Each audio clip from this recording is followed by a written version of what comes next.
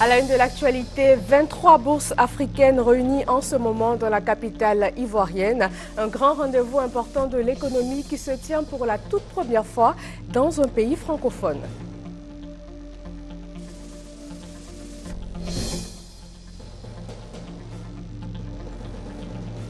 De nouvelles routes et des écoles en construction dans le Bafing pour sortir cette région de l'enclavement. De nombreuses infrastructures de base manquent cruellement aux populations sur place.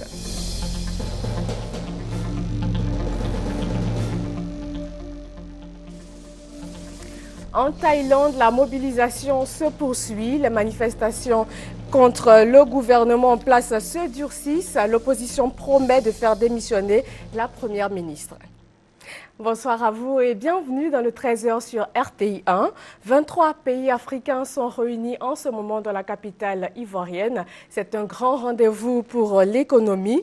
Les bourses de ces pays se réduisent pour la toute première fois dans un pays africain et cela depuis la création de l'organisation. 500 milliards de francs CFA pour le développement de l'Afrique. C'est ce qui ressort du sommet afro-arabe tenu au Koweït. Selon les études de la Banque mondiale et du Fonds monétaire international, l'Afrique est devenue un pôle de croissance économique ces dernières années. Le monde arabe se veut donc un partenaire stratégique de ce continent en plein essor économique. Pour concrétiser ce rapprochement, le Fonds coïncide pour le développement initie le Forum économique afro-arabe. L'initiative, qui a sa troisième édition, est soutenue par l'Union africaine et la Ligue arabe.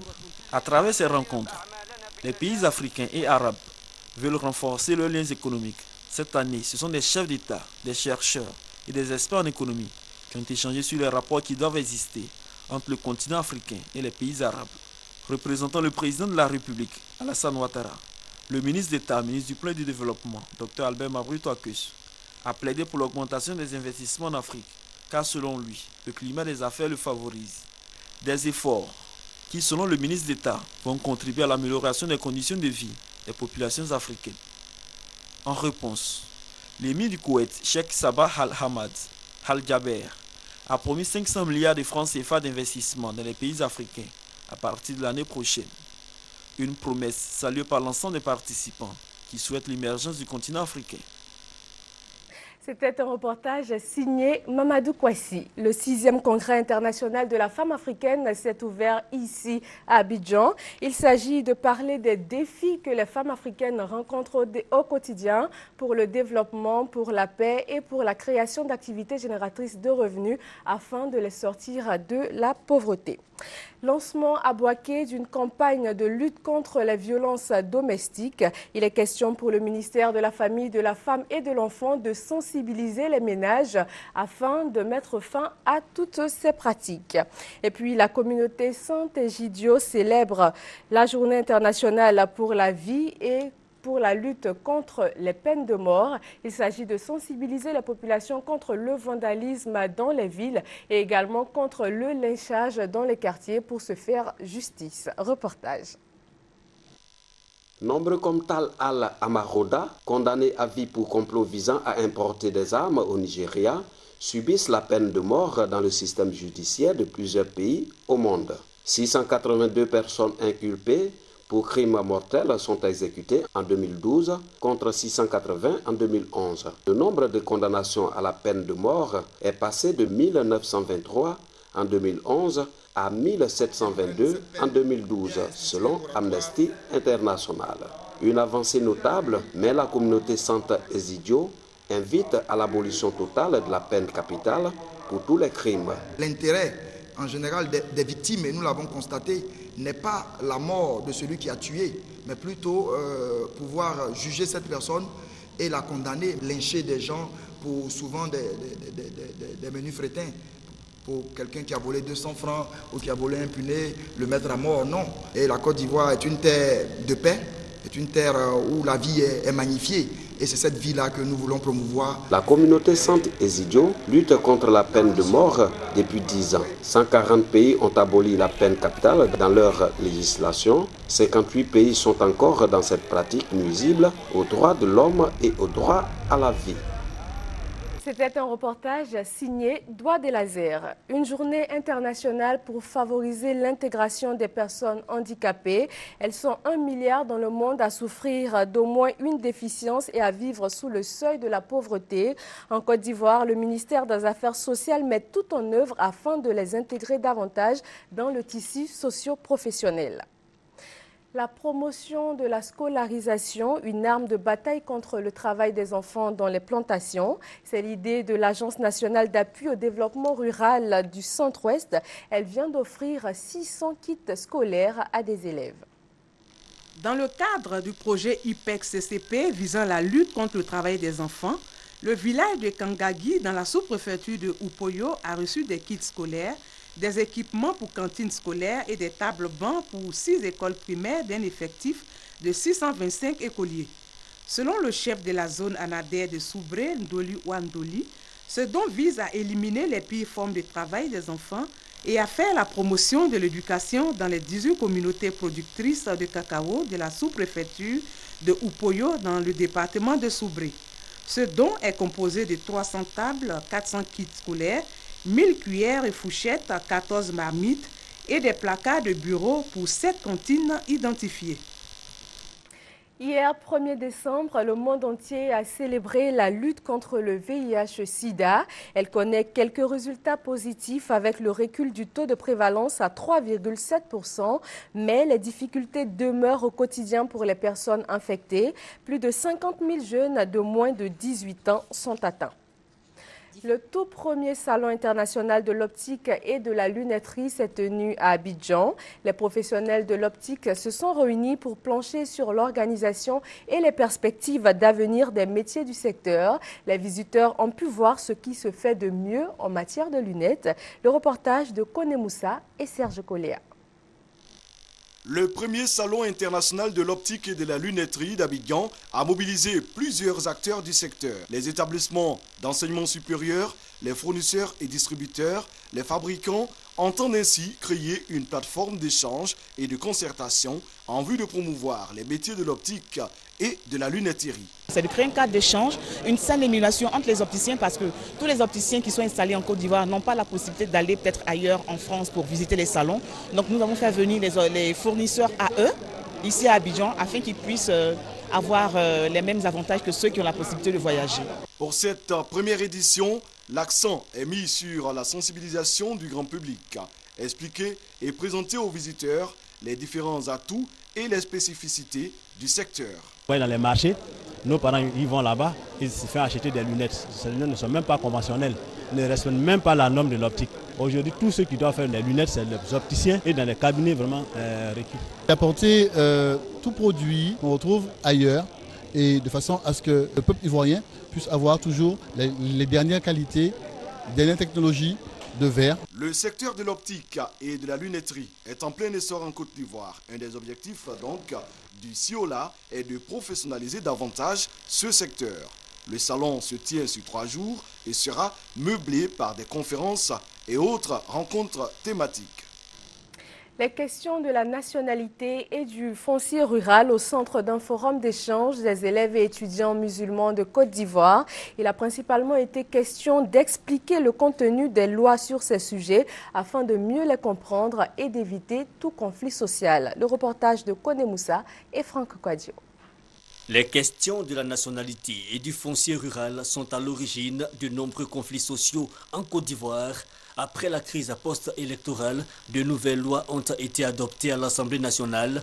Des inquiétudes et incompréhensions cependant demeurent. C'est ces questions qui nous ont principalement amenés dans la crise militaro-politique de 2002.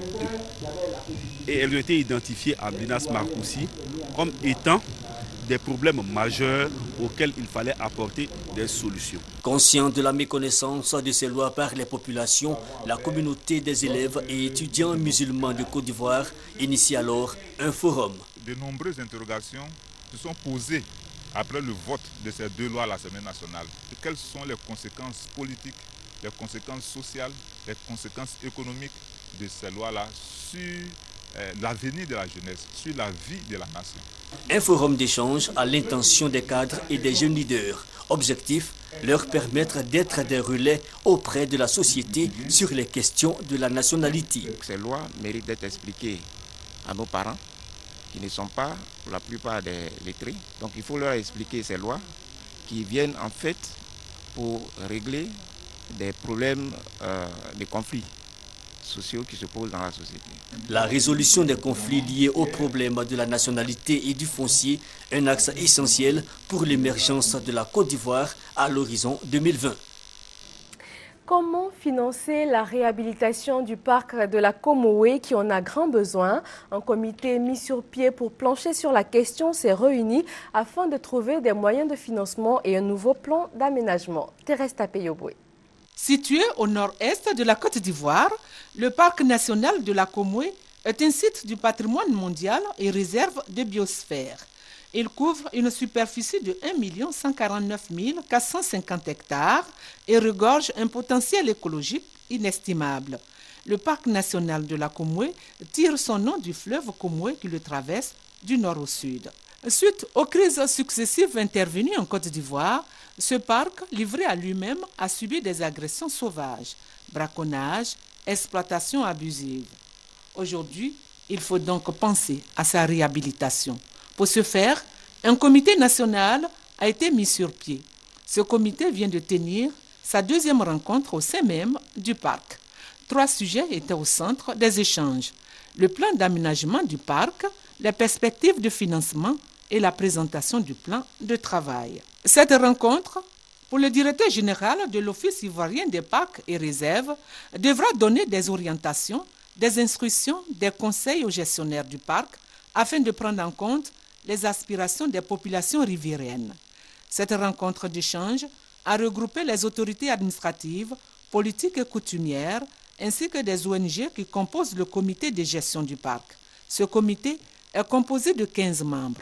Il existe depuis 2012 et est présidé par le préfet de la région du Bunkani, Thiofosier. Allons-y maintenant à la découverte du marché de Gros de Boisquet. C'est un espace réputé pour offrir aux grossistes toutes sortes de denrées alimentaires et autres. Alvorassa nous y conduit. De l'arachide, du maïs, de l'igname, de la noix de cola, de l'oignon frais sont entre autres les produits alimentaires vendus sur le marché de Gros de Boisquet. Ces produits proviennent des villes et villages environnants et même d'autres localités du pays. Les produits, ça vient dans les différents euh, villages aux alentours de Boaké, bon, comme euh, Sakassou, Beoumi, Bodokro, Badasso, euh, Marabadiassa, euh, Daoukro, beaucoup de villages, Kachola, bon, euh, Dabakala. Le commerce au marché de gros de Boaké est une activité rentable, mais pour la mener, il faut suffisamment de moyens. Pour mieux travailler, il faut avoir à peu près de 10 millions à 20 millions, c'est bien. Bon, quand tu as 20 millions, là, tu peux charger toi-même seul. Bon, quand tu descends en bas de ça, tu ne peux pas trop travailler. Quand tu as 10 millions comme ça, bon, tu veux faire chargement de anacad. Bon, ça va dans 13 millions et quelques. Donc il faut que tu t'associes avec quelqu'un pour faire le chargement. Mais si toi-même tu as 20 millions en place, tu peux travailler seul, libérément, et puis tu gagnes ta vie. Le marché de gros de Boaké est essentiel pour la commune. Il est l'une des particularités de la ville de Boaké et contribue à son rayonnement. Les populations de Boaké et de Béoumi sont nombreuses à bénéficier de l'électricité depuis la visite du chef de l'État. Ce sont 30 villages et 10 quartiers qui viennent d'être connectés au réseau électrique national et cela par le programme présidentiel d'urgence. Soro Corona, Charles Tatou. Selon les données du programme présidentiel d'urgence PPU, 2112 villages doivent bénéficier de l'électrification avant décembre 2015 soit 500 villages par an. Déjà, dans la région de Gbeke, le programme d'urgence a permis à 30 villages d'être connectés au réseau électrique national. Le ministre en charge du pétrole et de l'énergie, Adama Tungara, a profité de la visite du chef de l'État pour mettre sous tension certains villages. Aujourd'hui, à Tatikwamekro, à Safouedan et à Akakro, l'utilisation des lampes tempêtes à la tombée de la nuit n'est qu'un vieux souvenir. Les différents porte-paroles des populations ont exprimé leur reconnaissance au chef de l'État. Pour eux, l'électrification va booster le développement et réduire l'exode rural dans leur village. On a coutume de dire que la route précède le développement, mais je dis aussi que la lumière éclaire le développement, en ce sens euh, qu'un outil des ténèbres de la nuit des temps. Vous voyez déjà la liesse derrière nous, nous allons fêter toute l'après-midi jusqu'à demain matin. Nous sommes très heureux, comme on l'a dit, on ne veut pas rentrer dans les statistiques. Il y a au moins 40 ans que nous attendons cela. Adama Tungara a remercié les populations pour leur soutien constant qu'elle ne cesse d'apporter au président de la République pour la réussite de sa mission d'État. Le ministre Tungara d'ajouter que le chef de l'État a décidé d'électrifier tous les villages ayant au moins 500 habitants. Notre mission est très simple. Le président nous a demandé de venir vous donner la lumière pour réparer une injustice. Parce que le président Ouattara estime que les habitants, les Ivoiriens ne peuvent pas vivre dans les grandes villes à la lumière et ceux des campagnes vivre dans, la, dans les ténèbres, dans l'obscurité. De janvier à novembre 2013, le PPU a connecté 872 villages à travers toute la Côte d'Ivoire. La moyenne nationale de l'électrification villageoise avant 2012 était de 30 villages par an. De nouvelles routes et des écoles en construction pour le développement de la région du Bafing dans le nord-ouest de la Côte d'Ivoire. Le Conseil régional et les cadres mutualisent leurs efforts pour offrir au plus vite ces infrastructures de première nécessité à leur région qui en manquent cruellement. Mamadou Kwasi. Chose promise, chose due. À la dernière session du Conseil régional du Bafing, le président Diomandé Lassiné avait annoncé les travaux prioritaires à savoir le reprofilage des routes, le renforcement des capacités d'accueil des établissements scolaires et la réhabilitation des centres de santé. C'est désormais chose faite. Depuis quelques jours, les engins sont sur leur route de la région afin de permettre aux producteurs d'évacuer leurs produits.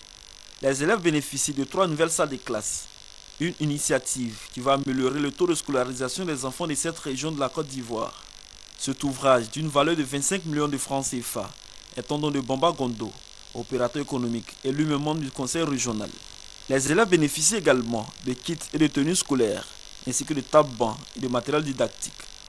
Ces activités ont été précédées de la deuxième session du conseil régional du Bafing, une assise qui a permis l'examen et l'adoption du programme triennal de l'exercice 2014, 2015 et 2016.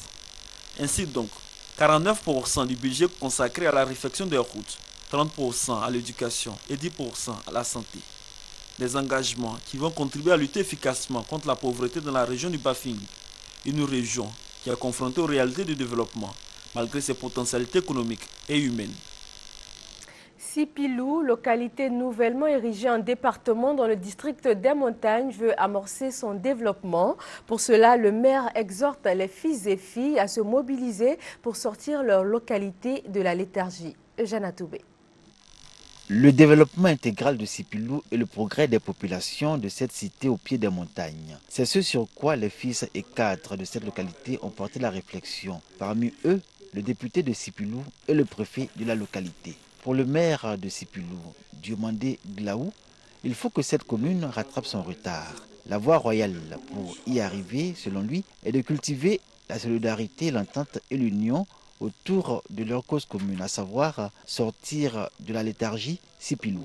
Siki Blomblaise, doyen des cadres, s'est félicité de l'initiative. Il a surtout remercié le maire du Mandé Glaou et exhorté tous les fils et cadres à une adhésion totale à la politique de développement et de progrès de Sipilou. Les préoccupations dans cette localité sont encore élémentaires. Ce sont notamment l'accès à l'eau potable, le renforcement des structures sanitaires et leur équipement, la scolarisation de la jeune fille. Autant de défis que veut relever Sipilou. L'Alliance nationale des producteurs de café cacao va à la rencontre des producteurs d'Anibilecro. Il s'agit de les sensibiliser aux bonnes pratiques dans le domaine. Thérèse Tapeyoboué. La visite de la délégation de l'ANPCCI, l'Alliance nationale des producteurs café cacao de Côte d'Ivoire, avait pour objectif d'amener les producteurs de Manzanois à adhérer aux idéaux de cette organisation qui se veut un instrument de lutte contre la pauvreté en milieu rural. Créée en 2002, la NPCCI ambitionne de créer les conditions d'une vie meilleure pour ceux qui, par leur dur labeur, permettent à la Côte d'Ivoire d'exister et de progresser sur le chemin du développement. Cette vision des dirigeants de la NPCCI les a conduits à la mise en place de deux structures. La Mutuelle nationale des agriculteurs de Côte d'Ivoire, qui se chargera de la couverture médicale des producteurs, l'épargne nationale des agriculteurs de Côte d'Ivoire, dont la mission sera de financer les activités de production et de commercialisation du café et du cacao. Ce message de l'émissaire de l'ANPCI a reçu l'adhésion totale des producteurs de café cacao de Manzanois. Ils ont témoigné leur infinie gratitude aux responsables de cette organisation pour cette idée noble. En marge de cette rencontre, la délégation de l'ANPCI a visité plusieurs coopératives de café cacao de la localité, notamment la Copama, dont le président du conseil d'administration a reçu les félicitations et les encouragements du premier responsable de l'Alliance. Restons dans le domaine de l'agriculture. Africa Rice réalise plusieurs projets de développement à Boaké. Elle entend ici marquer sa reconnaissance au village riverain pour avoir préservé le site de la station de Mbé pendant la crise ivoirienne. Le reportage de Djeneba Ouattara est commenté par Baker. Les populations des villages riverains d'Africa Rice bénéficient du soutien de cette structure de recherche agricole pour leur contribution à la préservation de son site pendant la crise ivoirienne. Les responsables d'Africa Rice ont échangé avec ces populations sur des questions relatives au retour d'Africa Rice en Côte d'Ivoire, à l'insertion des jeunes dans le tissu socio-économique et au développement. Nous avons souhaité les préparer, leur parler des possibilités d'emploi des jeunes, leur parler également des possibilités euh, d'amélioration de leurs revenus. Ils ont posé leurs préoccupations, c'est le reprofilage des, routes, des pistes de production, ça c'est en cours. Le retour d'Africa Rice sur son site initial de la station de Mbé à Boaké va permettre, selon Amadou Mustafa Bey, représentant régional d'Africa Rice, le recrutement de plusieurs jeunes. Bâti sur une superficie de 700 hectares, le centre du riz pour l'Afrique, Africa Rice, est le seul centre international de recherche agricole africaine dans le monde. Sa mission, lutter contre la pauvreté et améliorer la qualité et la rentabilité du riz pour le bien-être des populations. Africa Rice produit plus de 250 variétés améliorées de riz, dont le Nerika. Il employait avant sa délocalisation au Bénin, à cause de la crise militaro-politique en Côte d'Ivoire, environ 1500 agents. Aujourd'hui, Africa Rice tourne avec un effectif réduit de 300 personnes. Hors de nos frontières, des observateurs internationaux emploient le terme de pré-génocide pour décrire la situation en Centrafrique. Cela fait référence à des violations des droits de l'homme, des violences à l'encontre des populations et des discours de haine. Mais Michel Jotsodia rejette tout en bloc. Dimanche, 8 h du matin, ce jeune Banguissois est bien seul, perdu au milieu de l'immense avenue de France déserte. Pas danser, Salut de rigueur, amusement de gamin, mais la fête est déjà finie. Plutôt, elle n'a jamais commencé. Les marchands ambulants sont dépités, on décroche les drapeaux, on remballe les chaises, on squatte. Une tribune qui n'a plus rien d'officiel. Là, c'est notre pays qui est vraiment, vraiment au rappel. C'est pas normal, c'est pas normal.